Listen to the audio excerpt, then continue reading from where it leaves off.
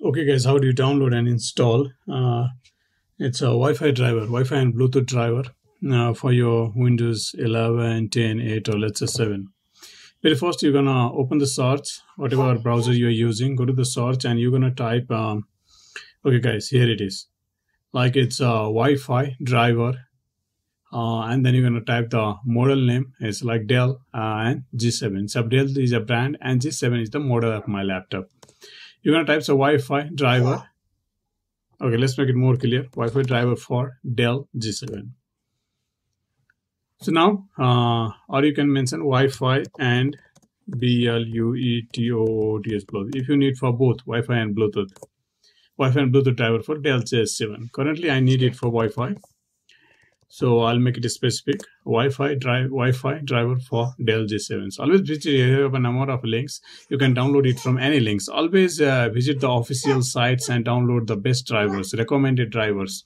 So you'll have alternate option. If the recommended driver do not work, you're gonna download the same uh, uh, other alternate drivers from uh, the same official sites, and then you can install it. So this is the way how you download the best driver for your desktop or the laptop, uh, matching the exact model and brands. Now, uh, you are going to guide you how to install. You can see very recently I've downloaded our one Wi-Fi driver. Give a right click on it and then you're going to click on run as administrator. Okay guys, if any message pops up, you're going to click on yes and then you're going to see this. And here you have, you can see uh, install options. Just click on install and it will install the driver. So in a few seconds, uh, it will pop up. You'll see this uh, pop up it's a wireless driver.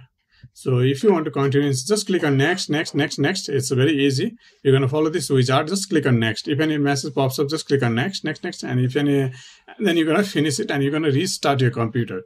So currently i'll not be installing because i've already installed.